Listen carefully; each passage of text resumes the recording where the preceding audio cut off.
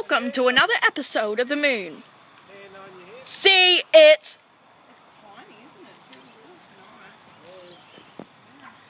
That's it.